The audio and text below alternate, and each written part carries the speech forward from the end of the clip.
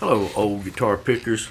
I'm going to try to do a little something different here, a little two for one for you. Uh, do our featured artist of the week, uh, another tune there. I know, I know, suffer through with me. I know, I know. Um, on the Dirty 30 here. And uh, also show you something that, that uh, I mentioned a little while back and got, but I just got another one because my nieces ran off and lost the other one I had two for one here. This is a song called Everyone's in Love with You. I think it's off Transcendental Blues here. Steve capo's up two and plays it out of the D, but with this Dirty 30s, I think it's a little too zingy zingy. So here we go.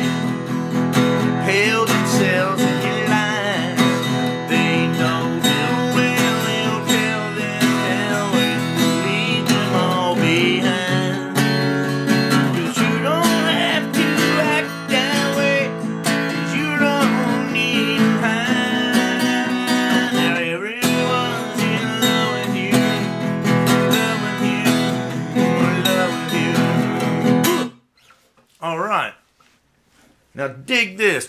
I've been playing with this uh, um, the Golden Gate, you know, pick. I, I really like them a lot. But you know, I can always tell when I've been in a really good jam with one of these picks because my knuckle will get a little skin up placed on it. I've actually got a little callus right here for, you know, hitting my fingers on the strings. And the other night I played this and was trying to bang a lot of volume that is not in this guitar out of it and came home with some skin up fingers. All right, dig this.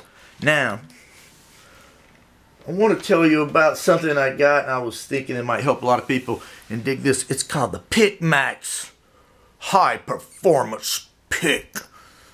Jack Roush Racing, something like that. Nah, not really. It's called a high performance pick Mac picks. It's a one millimeter pick here, and uh, I want to show it to you right quick here. Now dig. Look at this thing. Ooh, what the hell? What what is going on with this thing? I mean, check this thing out. Look, look. It's a one millimeter pick hanging down there, and it's this little doohickey here. Now I was thinking, this is what I got my niece two nieces. One's eight, one was about 11 or so-ish. I should probably know that. Um, but they were playing ukulele and stuff, and I said, "Me, let's start out with this. This is so hard, easy to hold, and it, it, may help you know help you guys." Of course, I left it down at mom's, and they forgot it. Now, what you're seeing here is this little piece here, the PykMax, and where it says PykMax, that's going to go up against your palms, just like holding a pistol. Look, kabam, bam, See that? I'm grabbing this thing like this. And that pick drops right there where it needs to be. Kind of pretty much. Now this is the medium size. And I've got, uh, I think I got small hands. So I, I would like it if it was a little more further out. But it's not that big of a deal. And I and dig it. I think it makes you, but if you grip it like this, it kind of makes you put it in that uh, you know, Larry Keel, uh, the guys that, that lay that pick right flat down here. It kind of forces you to hold it that way because it doesn't let you move it too much. So uh, let me show you this again. All right, it's got this little, you can you can change out the picks. It's got this little thing here. It's like a little button in it. What you do is you, I think you probably take something like a key or anything you fit down and you push that little button and this whole pick will, will slide right out and it's on this little hinge. And I think the hinge, I, I haven't tried to take it out yet, uh, but I know you can get this in like an 88 millimeter and this is a one and I think they got one that goes all the way up to like a 1.25 or whatever. But I'm thinking as long as you could uh, take this little thing out here, and I think that's what you do, and it's open-ended on the bottom end, you can take whatever favorite pick you had and shape it and, and take a little Dremel tool and make that little notch and put it on there. I don't know if you can, but I'm, it looks like you can. So here we go. I'm going to finish out this uh, Steve Earle tune with this thing. I'm going to grab it just like I would grab my Browning 380 pistol. And I'm holding it here like this. Check that out. You know, and it's it can flex up and down. Um, and it's kind of different from the way I, I hold the pick a little bit because I kind of like to have my flat part on my finger here on the bottom. But dig it. This is great. Another thing I was thinking, if you're one of our OGPs that may have some arthritis or is recovering from a stroke or whatever you might have, any hand problems you might have, and holding a pick, uh, this might be something you might be interested in. It's a, I got this one um, for about twelve dollars. Came with everything here. Came in a little shrink wrap from Amazon, and uh, like I said, they got different sizes and stuff.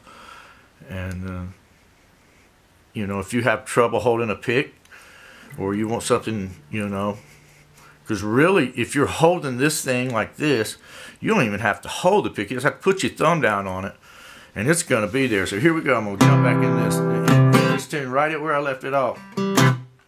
Now everyone's in love with you. Fall down at your feet.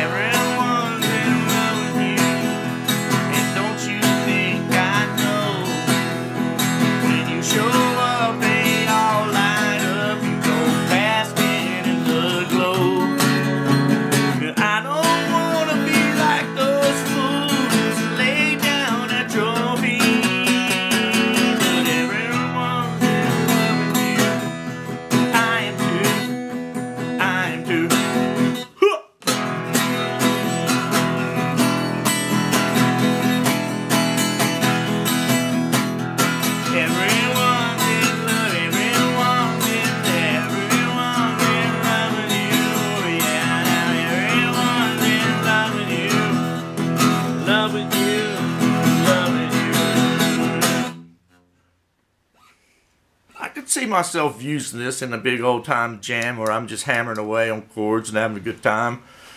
You know, a little lubricated up. It's it's it's pretty cool. Comes in a small. This is a medium, and I, when I say a medium, I think it's like how deep it goes in your hand.